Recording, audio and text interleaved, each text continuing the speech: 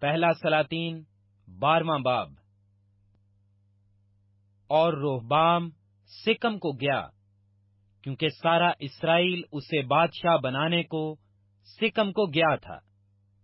اور جب نبات کے بیٹے یوربام نے، جو ہنوز مصر میں تھا، یہ سنا، کیونکہ یوربام سلیمان بادشاہ کے حضور سے بھاگ گیا تھا اور وہ مصر میں رہتا تھا۔ سو انہوں نے لوگ بھیج کر اسے بلوایا۔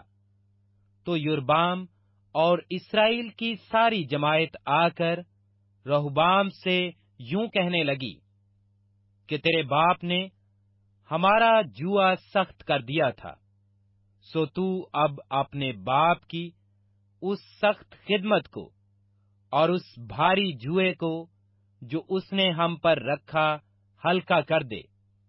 اور ہم تیری خدمت کریں گے۔ تب اس نے ان سے کہا، ابھی تم تین روز کے لیے چلے جاؤ، تب پھر میرے پاس آنا۔ سو وہ لوگ چلے گئے اور روبام بادشاہ نے ان عمر رسیدہ لوگوں سے، جو اس کے باپ سلیمان کے جیتے جی اس کے حضور کھڑے رہتے تھے، مشورت لی اور کہا کہ ان لوگوں کو جواب دینے کے لیے تم مجھے کیا صلاح دیتے ہو؟ انہوں نے اس سے یہ کہا کہ اگر تو آج کے دن اس قوم کا خادم بن جائے اور ان کی خدمت کرے اور ان کو جواب دے اور ان سے میٹھی باتیں کرے، تو وہ سدا تیرے خادم بنے رہیں گے۔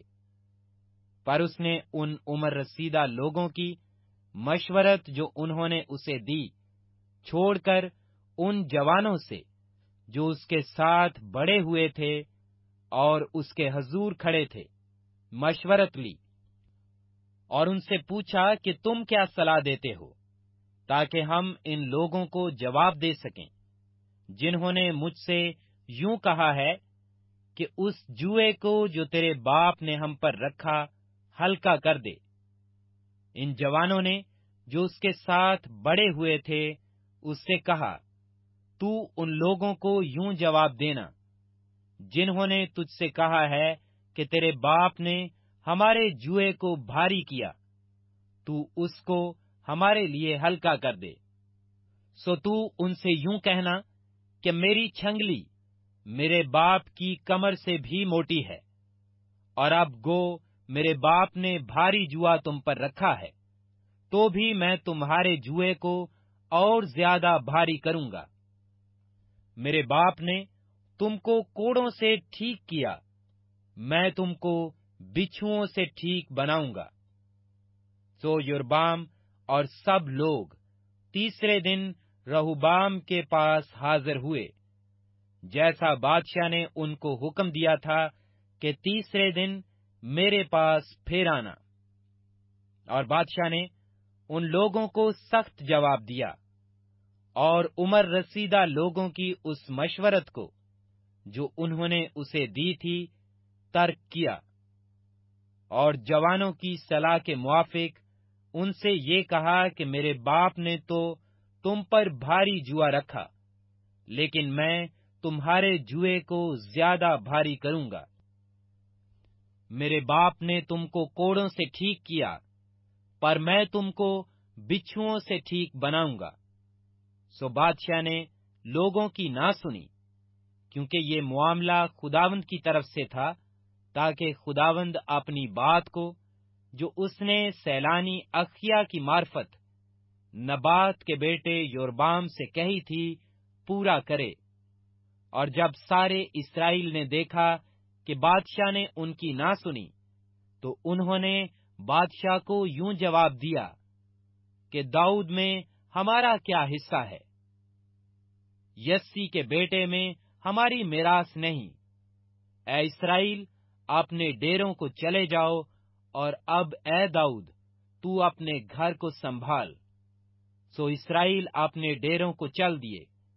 لیکن جتنے اسرائیلی یہودا کے شہروں میں رہتے تھے، ان پر رہوبام سلطنت کرتا رہا۔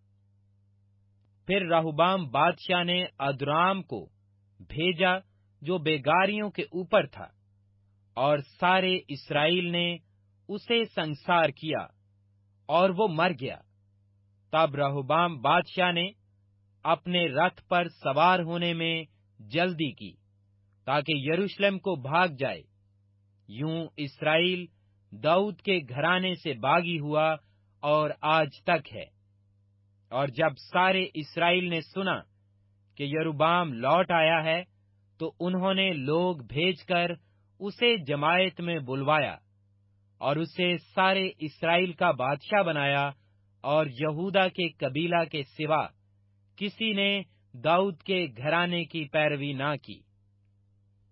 اور جب رہوبام یروشلم میں پہنچا، تو اس نے یہودا کے سارے گھرانے اور بنیامین کے قبیلہ کو، جو سب ایک لاکھ اسی ہزار چنے ہوئے جنگی مرد تھے، اکٹھا کیا تاکہ وہ اسرائیل کے گھرانے سے لڑ کر سلطنت کو پھر سلیمان کے بیٹے رہوبام کے قبضہ میں کرا دیں۔ لیکن سمیا کو، جو مرد خدا تھا، خدا کا یہ پیغام آیا۔ کہ یہودا کے بادشاہ سلیمان کے بیٹے رہوبام اور یہودا اور بنیامین کے سارے گھرانے اور قوم کے باقی لوگوں سے کہہ کہ خداوند یوں فرماتا ہے کہ تم چڑھائی نہ کرو اور نہ اپنے بھائیوں بنی اسرائیل سے لڑو، بلکہ ہر شخص اپنے گھر کو لوٹے، کیونکہ یہ بات میری طرف سے ہے۔